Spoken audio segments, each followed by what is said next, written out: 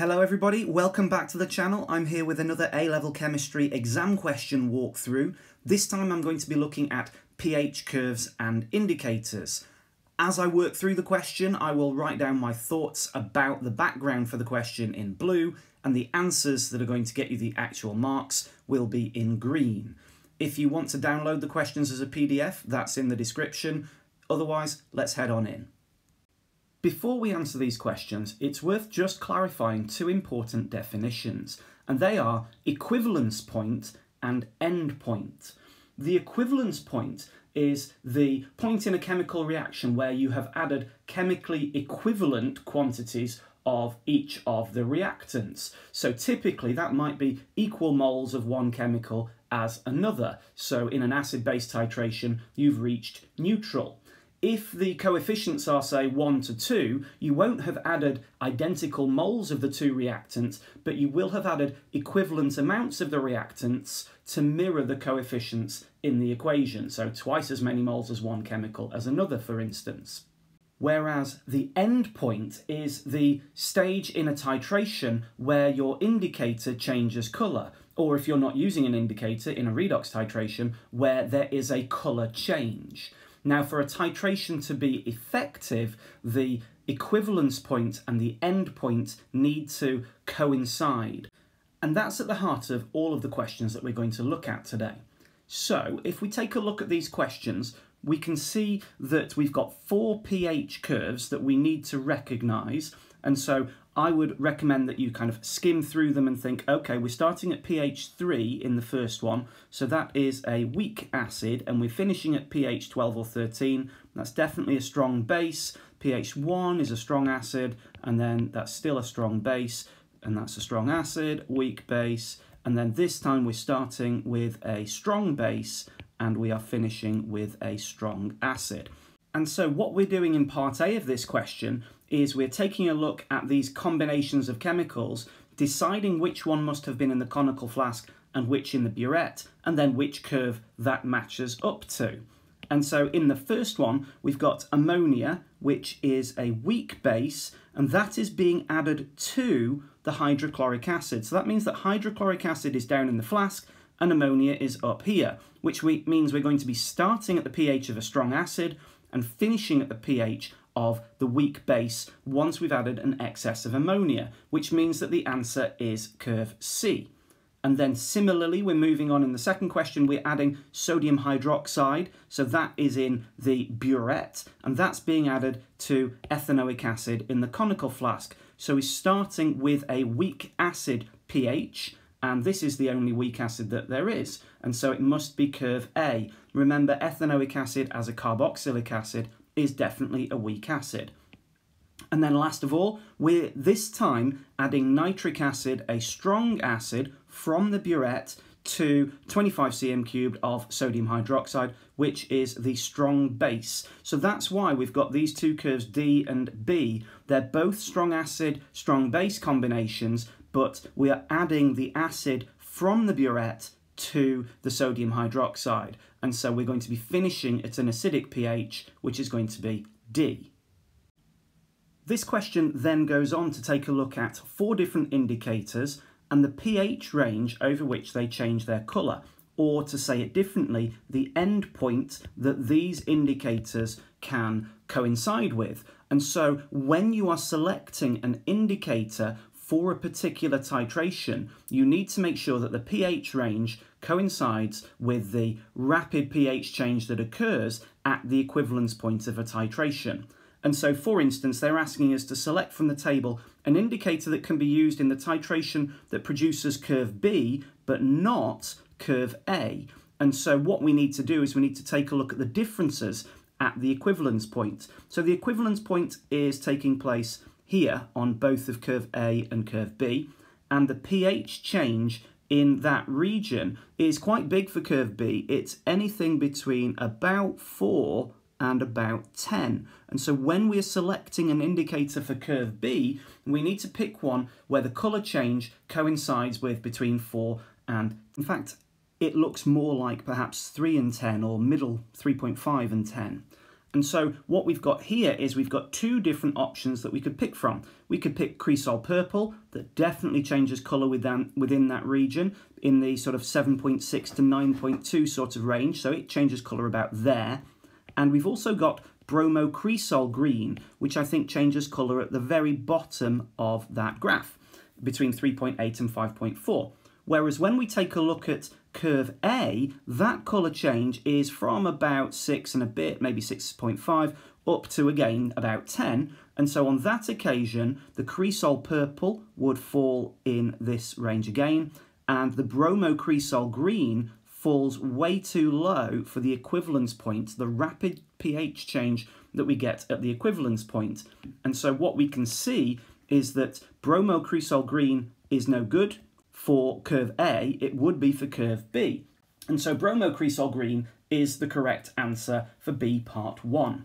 Incidentally, neither of the other two indicators are appropriate answers here because they won't work for either pH curve because both of the endpoints for those indicators fall outside the pH change at the equivalence point for both of the pH curves. Then the question says, give the colour change at the end point of the titration that produces curve D when cresol purple is used as an indicator. And so cresol purple has got two colours, it's got yellow and purple, and so we are saying what the colour change is when that indicator changes colour. And so what we need to note is that we're starting high, and so the cresol purple at the beginning of the titration will be purple and then it will still be purple, still be purple, still be purple. Then we get that rapid pH change and it drops to about pH 2.5, 3. And so it will change from purple to yellow. When you've been asked for the colour change, you must say both of the colours, the starting colour and the finishing colour. This next question is really similar at the beginning to the first. This is for good practice. So we've got four curves again. We're adding one thing, which will be where the final pH will lie, and then we're adding it to a different thing, and that will indicate what the pH should be at the beginning. So we're adding sodium hydroxide, strong base, so high finishing pH, to ethanoic acid, a weak acid. So it will start at the weak acid pH and finish at the strong base pH, and that is curve G because that is the only one that starts at about 3 at the beginning. And then secondly, we're adding ammonia, a weak base, so that means it will be a medium to high finishing pH, about 9 perhaps, and we're adding it to hydrobromic acid, which you won't come across very often, that's HBr. That's likely to be a strong acid. Let's see if there's any confusion in there.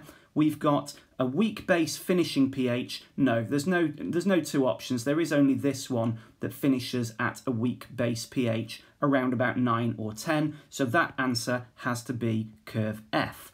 And last of all, we're adding hydrochloric acid, which we know is a strong acid, to potassium hydroxide, which we know is a strong base. And once again, they've given us two similar options, but the important thing is that there's a strong acid is being added from the burette to the strong base in the conical flask, which means it will start at the strong base pH, which means it's going to be curve H, which finishes very low for the strong acid. And then we've got similar questions again, but with a, a, little twist later on, about the four pH curves. We've once again been presented with four indicators, and we've been shown the pH change that they have and the endpoint that we want that to coincide with for our titration. So first up, which indicator in the table could be used for the titration that produces curve E, which means that we need something again in the region of about three and a half to 10 and a half, maybe as, maybe as high as 11, but it will not work for curve F. So this time let's do it in reverse. Let's look for what's missing from curve F is this high pH region at the equivalence point. And so we want to choose something that has got a pH change at equivalence of greater than about 7. And so the appropriate one here is Cresol Purple, which has got the colour change of 7.6 to 9.2, because that would be completely inappropriate for curve F, because it would change colour after the equivalence point has been reached, whereas this one, it would change colour at the equivalence point because it coincides. And the next question asks us for the colour change for curve H when we use naphthyl red. So curve H starts at a high pH, and so the naphthyl red will be its yellow colour, and then once we reach equivalence, it will rapidly drop to about pH 2, and the naphthyl red will go red. Again, both colours needed to get this mark. And then the final part of this question says that we've got a beaker with 25 cm cubed of a buffer with a pH 6. Two drops of each of the indicators are added to the solution. State the colour of the mixture in this buffer solution. Assume that there's no reaction taking place, so it is literally a mixture of the colours. And so systematically, the pentamethoxy red at pH 6 will be in the high pH colour, so that will be colourless. And then the naphthyl red will be, again, its high pH colour, so that will be yellow. The 4-nitrophenol actually changes colour at pH 6, so that will be in the process of changing colour from colourless to yellow. So this will either bring us colourless or yellow. And then the cresol purple will be its low pH colour, because it doesn't change colour until the pH reaches quite a high 7.6. So we will still have the yellow from Cresol Purple. So all four of those colours, when we add them together in one big beaker, will give us a yellow colour because we've got two definite yellows and two colourless. This final question takes a slightly different approach because it is asking us how we actually generate the pH curves that we've been looking at for the previous two questions. So first up it tells us that you need to use a pH meter to generate this curve and it asks us to explain why calibrating that pH meter is really important to improve the accuracy of the pH measurement and quite simply, pH meters get less accurate over time. And so what you end up having to do is calibrate them either by putting them into a buffer solution, then adjusting the pH reading on the actual meter, maybe with a screwdriver or something like that, or you plot a calibration curve where you, again, use three buffer solutions or more, and you just use that to adjust any pH meter readings that get displayed when you're actually doing the readings yourself. But that's not what's being asked about here, but that question is sometimes asked. And so we're being asked how we would do the actual titration itself. And so the idea is that in the conical flask, we've got our carboxylic acid, 25 cm cubed, and the sodium hydroxide would be in the burette. And so what we would do is we would measure the starting pH of the acid, we would then add the alkali from the burette in known portions, anything from 1 cm cubed to 2 cm cubed. And with each addition, we would need to stir the mixture or swirl the mixture to make sure the reaction had been thorough. Then we'd measure the pH after the addition. Then we would repeat, and then we'd measure the pH, etc. Keeping repeating until that alkali is in excess. So given that they're the same uh, concentration, the excess should be reached at anything at about 27 cm cubed. But as we saw from those pH curves in the previous questions, typically excess is considered to be 40, 50 cm cubed. But really anything between 27 and 50 is fine.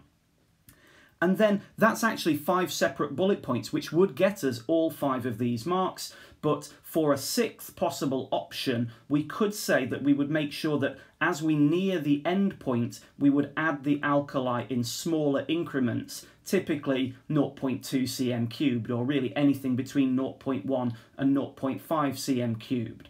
And so what we know from the question is that we've got five marks available, I've given us six possible bullet points that we could use, and this is the sort of question which would say any five from this list. And it would have some extra advice, such as making sure that the answer was in a logical sequence and making sure that you'd talked about the correct use of the equipment and that you'd talked about the correct equipment overall. If you weren't talking about using a burette and a pH meter, then you're unlikely to get any marks for just kind of going down the wrong pathway for the question. Okay, that's the end of that question. That's the end of this video. Hope it was useful. I'll see you again soon.